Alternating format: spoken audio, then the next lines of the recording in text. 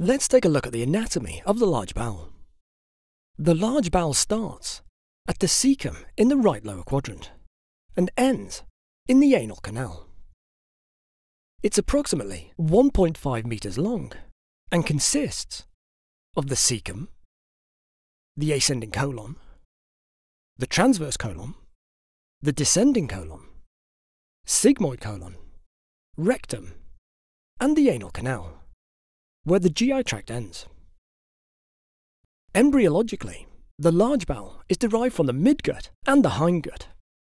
This is important as it allows us to understand the characteristic pattern of pain that patients with large bowel obstruction will develop, as well as the blood supply to the large bowel.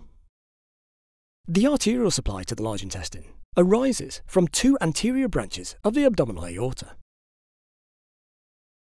The superior mesenteric artery and the inferior mesenteric artery.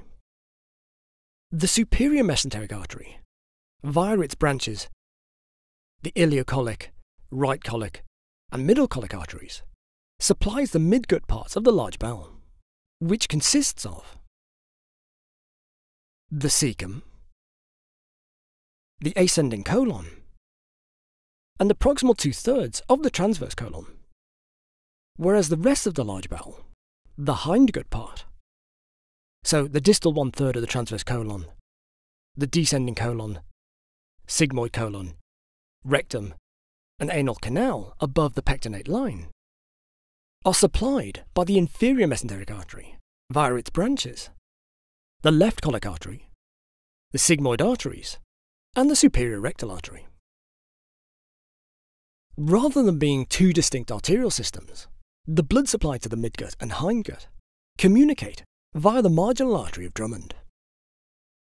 This is a continuous arterial arcade that runs parallel with the inner border of the colon and provides an anastomosis between the terminal branches from the superior and inferior mesenteric arteries.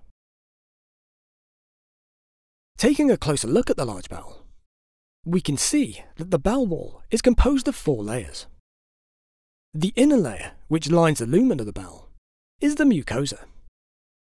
Moving outwards, we have the submucosa, the muscularis propria, and finally, the outermost layer, which is the serosa.